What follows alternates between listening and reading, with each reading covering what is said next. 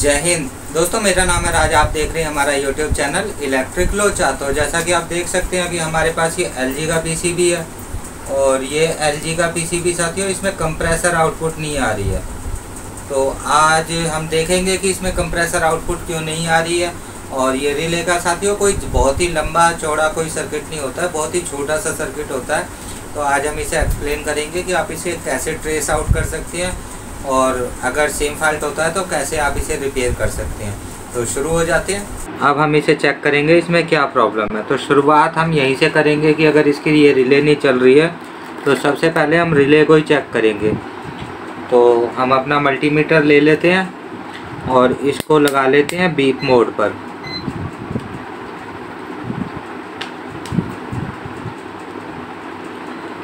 तो साथियों, आप देख सकते हैं कि यहाँ पर एक स्विच जैसा निशान बना रखा है। तो ये स्विच जैसा निशान होने का मतलब है कि ये इसके कॉन्टैक्ट पॉइंट है और ये इसके कोयल के पॉइंट है। तो कोयल पर हम चेक करेंगे सबसे पहले। तो आप देख सकते हैं, एक सौ चौंसठ ओम्स हमें मिल रहे हैं। हम इसको रेजिस्टेंस मोड पर कर लेते हैं। ये अब रेजिस्टेंस मोड पर आ गया है मल्टीमीटर तो अब हम इसे चेक करेंगे। तो आप देखेंगे 118 ओम करेक्ट वैल्यू 118 ओम आ रही है इसकी। तो दोनों में से एक पिन पर पॉजिटिव वोल्टेज होने चाहिए। तो जैसा कि साथियों आप जानते हैं कि U L N U L N नहीं है ये। ये के डी ए पैंसठ डबल ज़ीरो चार है। तो इसकी जो ये पिन होती है साथियों तो ये नौ नंबर पिन पर यहाँ साथियों इसमें पॉजिटिव वोल्टेज होते हैं। हम इसे चेक भी कर सकते हैं पॉजिटिव से 12 वोल्ट से। तो इसमें देख लेते हैं अठहत्तर पाँच वगैरह कहाँ लगा हुआ है। तो यहाँ पर ये अठहत्तर पाँच लगा हुआ है उल्टा होकर। तो इसमें यहाँ पर 12 वोल्ट आएँगे इस तरफ़। तो हम यहाँ से कंटिन्यूटी चेक कर सकते हैं। तो यहाँ से आप देख सकते हैं एक सौ अठारह आ गए हैं। तो ये वाली पिन इसकी पॉजिटिव है। और ये वाली यहाँ पर भी आ रही होगी साथियों। तो ये आप देख सकते हैं, यहाँ पर भी ये पॉजिटिव 12 वोल्ट आ रही है। तो ये अठहत्तर ज़ीरो पाँच से हमने ली है उसके इनपुट से। तो ये अठहत्तर ज़ीरो पाँच की आउटपुट है जो माइक्रो कंट्रोलर को चलाने के लिए जाएगी। तो अब साथियों, हम इसको आगे चेक करेंगे, इसके प्रिंट ट्रेस आउट करेंगे हम थोड़ा सा। तो आपको दिखा दें कैसे करते हैं। तो ये वाली पिन हमें ट्रेस आउट करनी है। तो मीटर को हम बीप मोड पर लगा लेंगे ताकि हमें बीप सुनाई दे।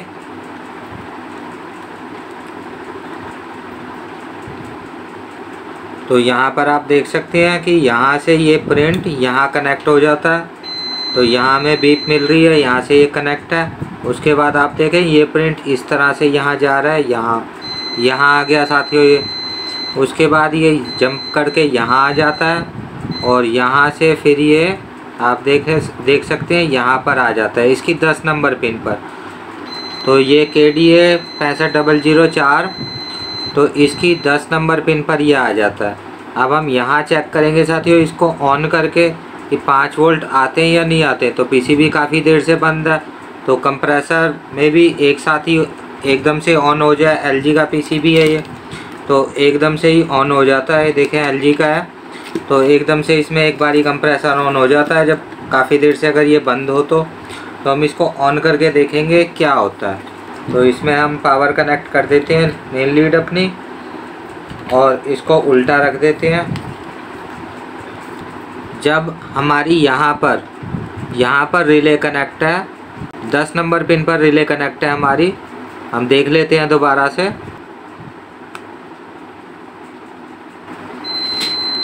ये 11 नंबर पिन पर कनेक्ट है।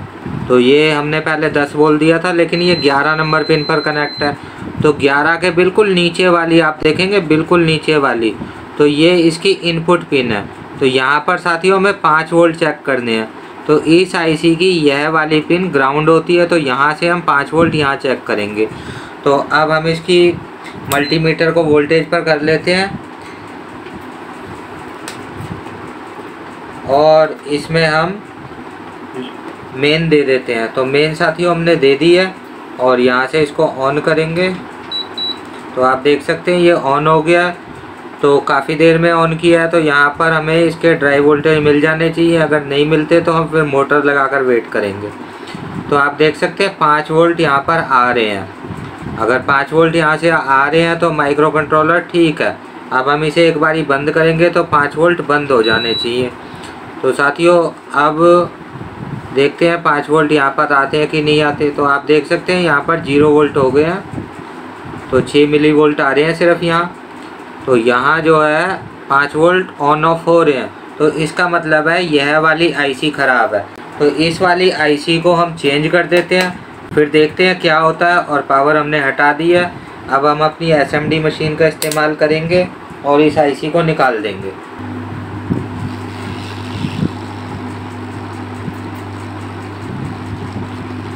तो इस केस में साथियों हम आईसी को गर्म करेंगे सिर्फ़।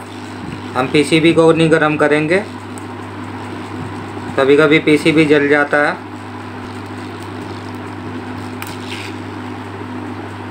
तो आप देख सकते हैं आईसी को हमने निकाल दिया है। और ये वो आईसी है। इसकी जगह साथियों हम यू एल एन दो हज़ार तीन आई लगा देंगे, जो अभी हमारे पास है। और इसका नंबर है सिक्स फाइव डबल ज़ीरो तो इसका नंबर है साथियों सिक्स फाइव डबल ज़ीरो चार। तो आप ध्यान दें कि हमने पैंसठ डबल ज़ीरो चार निकाली है, और यू एल एन दो हज़ार तीन लगा रहे हैं हम। और अगर आप डिसोल्डरिंग वायर से इसको साफ़ कर लेंगे तो आपको आईसी लगाने में आसानी होगी। तो अभी हमारी डिसोल्डरिंग वायर थोड़ी सी ख़त्म हो गई है तो हमें थोड़ी सी प्रॉब्लम हो रही है, लेकिन लग जाएगी, कोई दिक्कत नहीं है।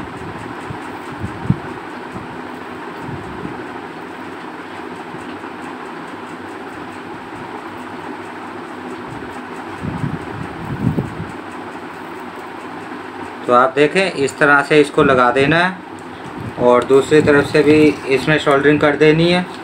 तो शोल्डरिंग आपको इसी तरह से करनी होती है। आयरन को ऐसे बाहर की तरफ़ लेना है तो जो एक्स्ट्रा शोल्डर होगा तो वो इसके साथ आ जाएगा। तो इस तरह से ये आईसी लग जाएगी। आसान है, कोई मुश्किल नहीं है। तो आप देख सकते हैं कि आईसी हमारी लग चुकी है। और अब हम इसको बंद किए हुए भी काफ़ी टाइम हो गया साथियों। तो अभी जब हम इसको ऑन करेंगे तो ये रिले ऑन हो जानी चाहिए। जैसा कि ये ऑन हो रही थी तो मीटर ले लेते हैं अपना मल्टीमीटर और रिले ऑन हो रही है या नहीं हो रही तो हम यहाँ पर वोल्टेज चेक करेंगे इसके। और ऑफ़ भी चेक करेंगे कि ऑफ़ होती है या नहीं होती है। तो हमारे पास आज स्पेस कम हो रहा है, क्योंकि हम इसको थोड़ा सा बड़ा दिखा रहे हैं। तो ऑन ऑफ़ स्विच इसका यहाँ पर है साथियों, हम इसका ऑन ऑफ़ स्विच ले लेते हैं सामने। इस पीसीबी को हम ऐसे रख लें। तो ये हमने पीसीबी रख लिया है साथियों, ये इसका ऑन ऑफ़ स्विच है, आप देख सकते हैं। और यहाँ पर हमें अब वोल्टेज मिलने चाहिए और ऑफ़ भी होने चाहिए स्विच से। तो हम चेक कर लेते हैं कि यहाँ पर अभी हमने तार लगाई नहीं है, कोई वोल्टेज नहीं है। तो अब हम इसको सबसे पहले तो प्लग लगाएँगे। तो पावर हमने इसको दे दी है। तो अब इसमें एक बीप आई है। तो हम इसको सबसे पहले ऑन करेंगे यहाँ से। तो हम देखेंगे कि रिले पर वोल्टेज आए या नहीं आए। तो आप देख सकते हैं 11.5 वोल्ट रिले पर आ चुके हैं। तो यह वाला सर्किट हमारा ठीक हो चुका है। इसमें यह वाली आईसी ख़राब थी। और यहाँ पर आप देख सकते हैं, बाईस भी आ रहा है। अब अब अब हम रिले को ऑफ़ करके भी एक बार ही देख लेते हैं बटन ऑफ़ कर देते हैं। तो हम देखें, आवाज़ तो आई टिक की तो यहाँ पर वोल्टेज भी ज़ीरो हो जाने चाहिए। तो आप देख सकते हैं ज़ीरो वोल्टेज हो गए हैं। तो अब ये पीसीबी की प्रॉब्लम ठीक हो गई है। तो साथियों, आपने देखा कि इस तरह से अगर ये आईसी ख़राब निकलती है तो आप इसकी जगह 2003 आईसी लगा सकते हैं। बिल्कुल बढ़िया चलेगी, अच्छी चलेगी। 2003 बल्कि उससे थोड़ी अच्छी ही होती है, इसलिए हम ज़्यादातर 2003 का इस्तेमाल करते हैं। आज की वीडियो में साथियों इतना ही। जय हिंद, जय भारत।